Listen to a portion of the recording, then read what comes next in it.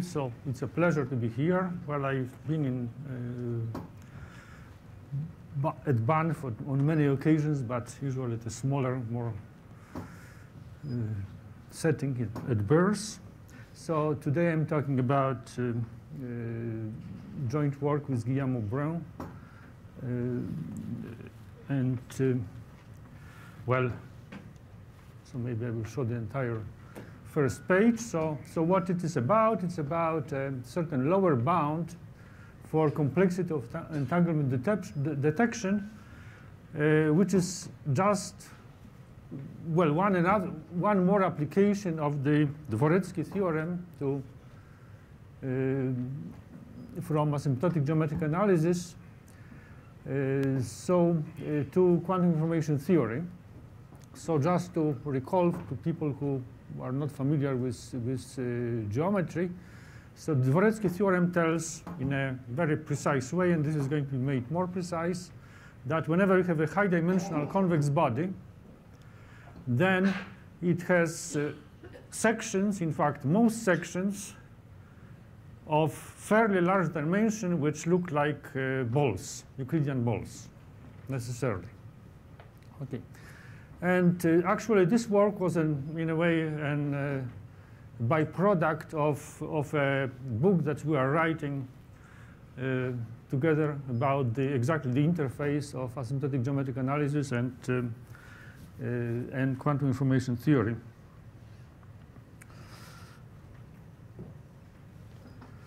Uh, so, uh, sorry, I want to set the. Okay, so uh, first I will start with notation, which just to so that everybody knows what the letters mean. Uh, then uh, will be background, main result, and then I will describe a little bit of the strategy behind the proof. Uh, and um, so in particular, the, the most important thing maybe is the tangible version of Dvoretzky's theorem, which is due to Milman.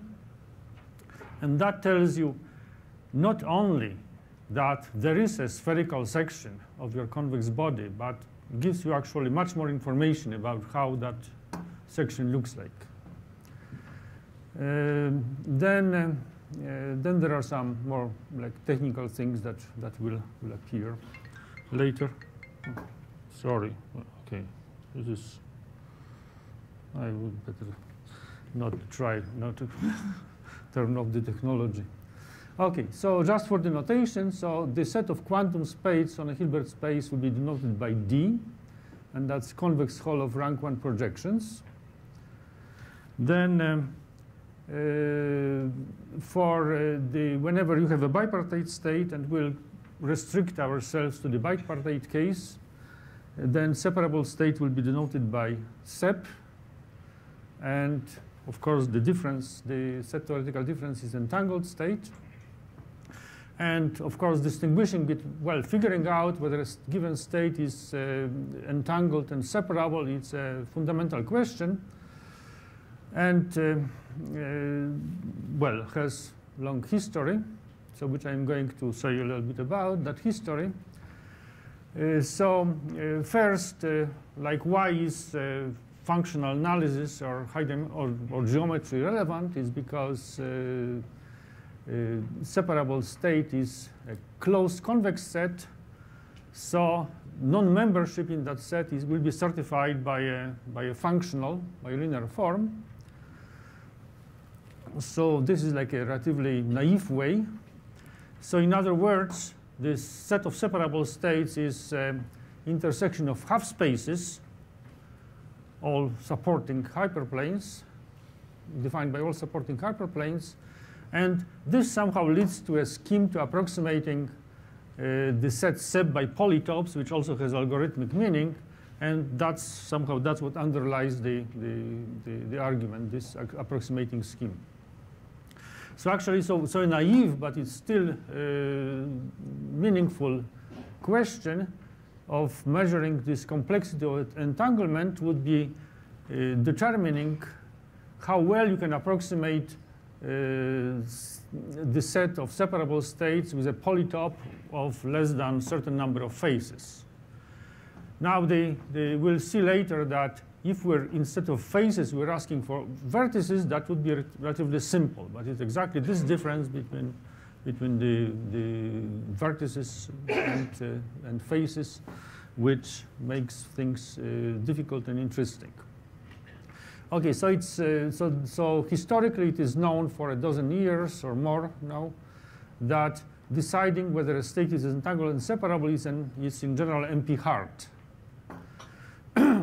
so, uh, however, uh, this wasn't maybe totally satisfactory because uh, all the arguments that were, at least for lower bounds to date, were based on boundary effects. So you, were, you had to look just very, very close to the boundary of the, the, of the separable state and things, well, you, would, you would, wouldn't be able to tell uh, things whether they are separable or, or, uh, or entangled if they were very close to the boundary. So now our approach avoids that problem. So, so the, uh, but, uh, okay, so, but back to the background. So, so of course, the, as I said, the, the testifying with uh, linear forms it was a, was a rather naive, approach. Less, more structured scheme is using entanglement witnesses, which are positive maps.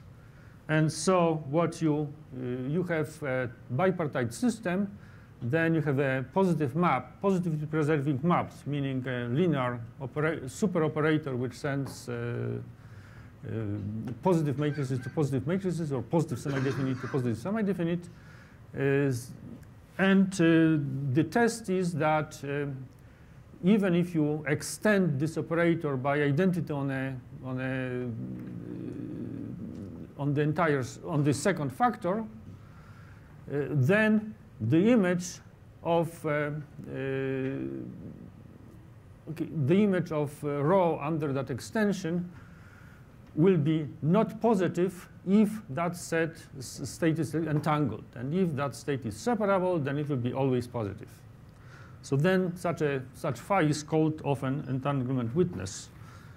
And this is the language I will be used. So positive is just the definition which I recited. here. Is somehow it's more natural sometimes to think of the positive semi-definite cone to be contained in the real linear space of self-adjoint matrices.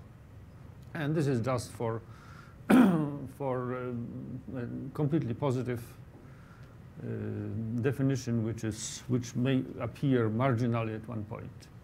Okay, so another uh, element of the background is uh, uh, Størmer's theorem, which says that in the, which describes precisely positive maps on two by two matrices, and every such map can be written as a, sum of a completely positive map and a completely positive map uh, composed with transposition.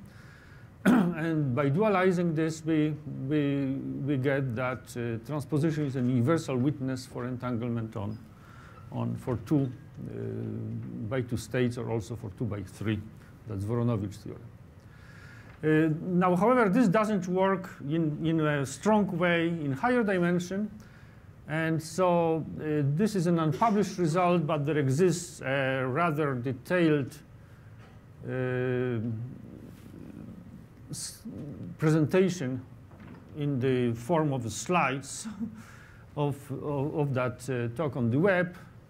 And actually, if you want to precisely certify uh, entanglement uh, in dimension greater than 2, then the family of uh, witnesses has to be infinite, even, in fact, even uncountable.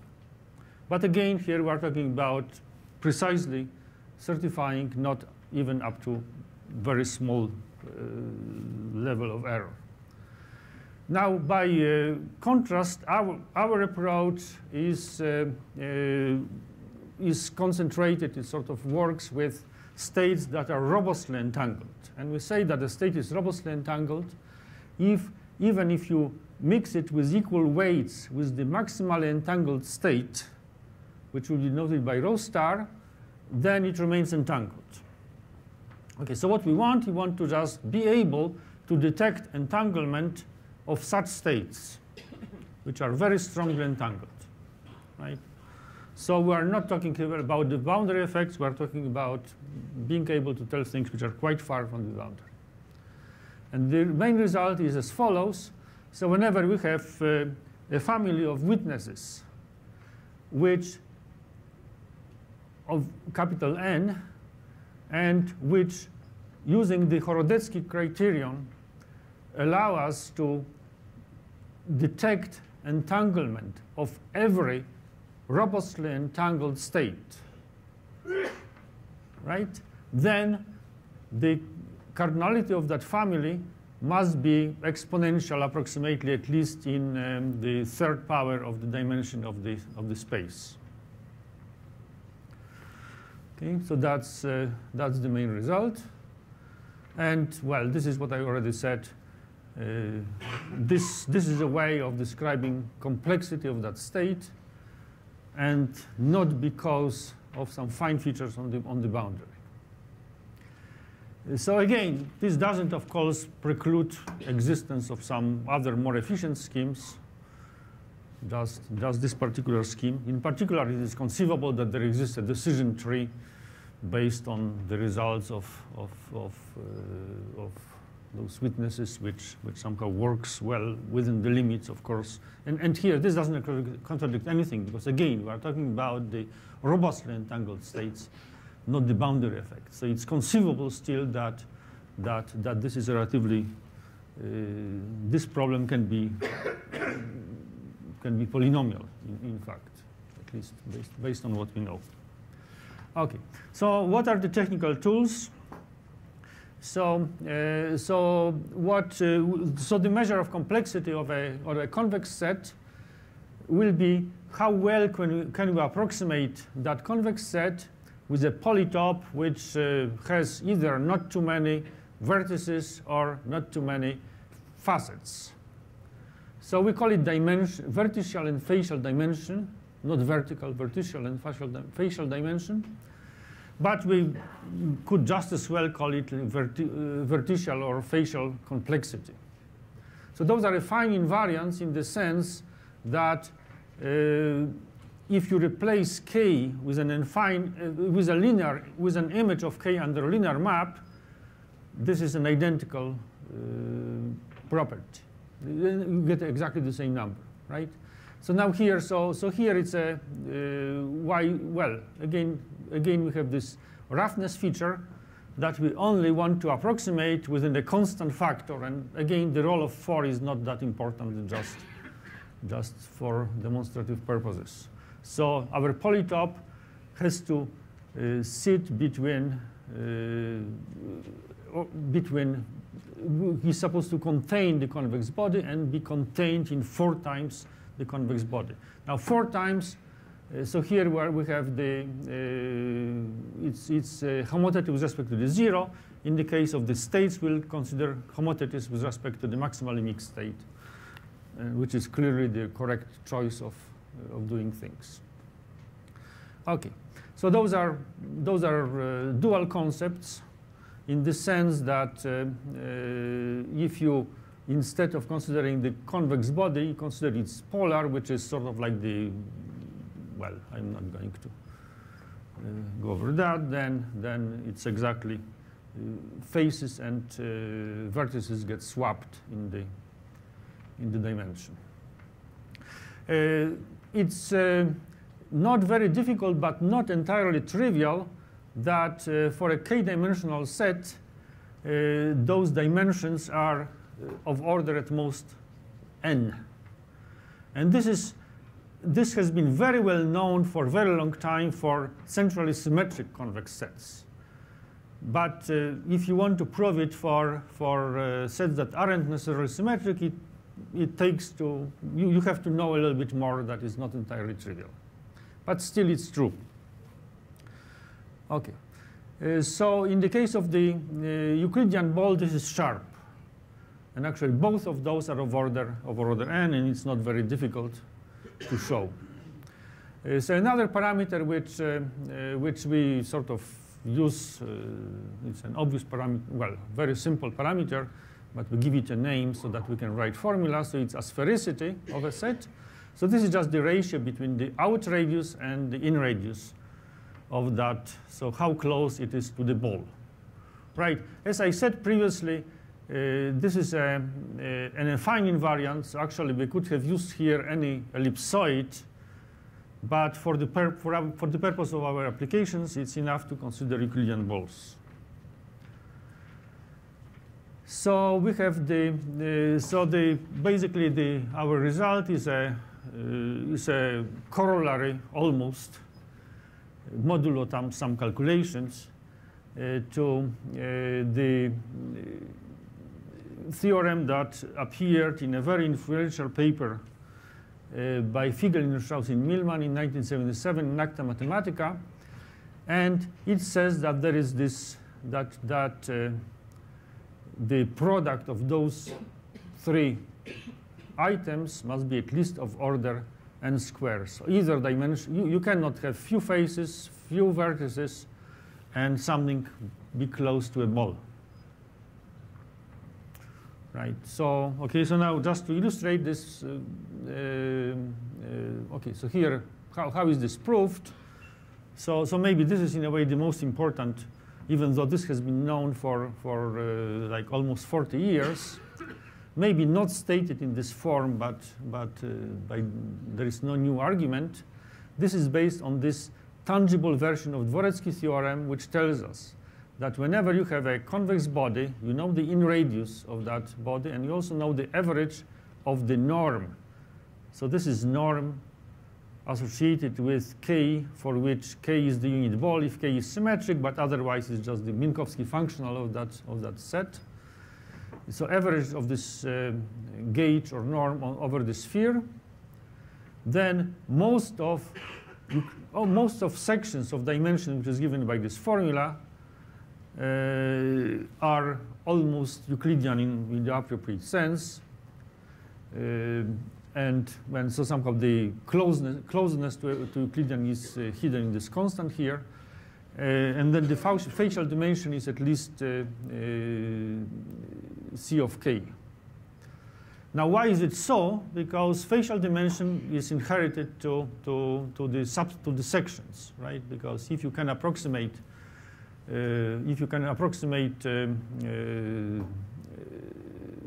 the larger body by a polytope, then just taking a section of that polytope, we get approximation of a, of a section, right?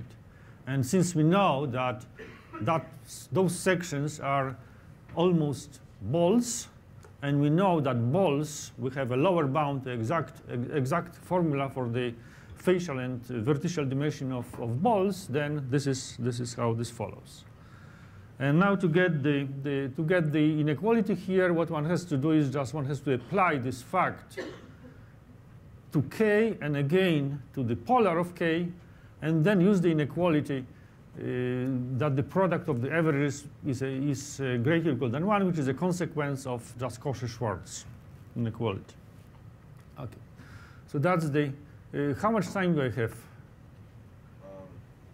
well, we should finish by 12.30, including questions. That's 10 minutes. Okay. Okay, so now the illustration is this, that um, uh, just for very simple examples, uh, how does this uh, inequality work? so whenever we take a ball, then the dimension is n. the, the actual dimension is n, both the vertical and uh, facial dimension theta are theta of n, exactly of order n, and sphericity is, of course, 1. So we get exactly, essentially, equality here. The, you get the correct order. If you look at the cube, then uh, sphericity is square root of n, which is the worst case scenario for symmetric sets, centrally symmetric sets. Uh, then uh, it's uh, well, both of those things are fairly easy to. It's sort of obvious that the facial dimension is of order log of n because we have two n faces. This is maybe slightly less obvious, but but at least for the for the lower estimate, but uh, but it's not hard. For the simplex, the situation is um,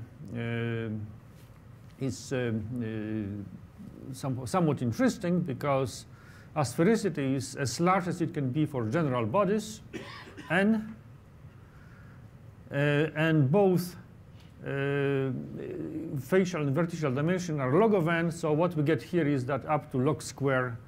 Uh, so here we, we get n square from here, n square from here, and those are. So this is precise up up to log square n.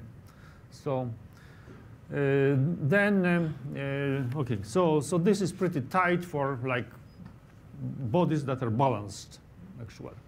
Now, examples related to entanglement detection.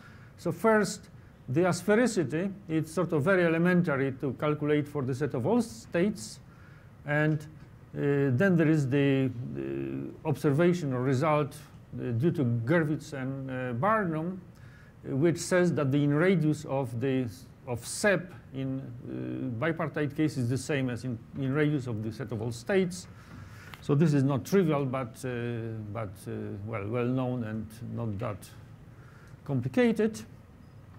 Then to calculate the vertical dimension, uh, well, both of those sets are defined as uh, convex hulls of uh, rank of pure states in, in the first case, all pure states. In the second case, uh, separable pure states. So it's sort of clear that by choosing uh, sufficiently fine nets in each of those subsets, we are going to get uh, polytopes which are, which are, going to approximate uh, those sets. However, there are some surprises. And this is actually what originally got our curiosity because we were, we're looking at those things. So, so first, it is very well known that in Euclidean ball, uh, the correct uh, estimate for an epsilon net, which means the, the, the set for which uh, cardinality of a set so that everything is within epsilon from that one of the elements of that set, covering number, you may say. So you get dimension times logarithm of epsilon 1 over epsilon in, in the exponent.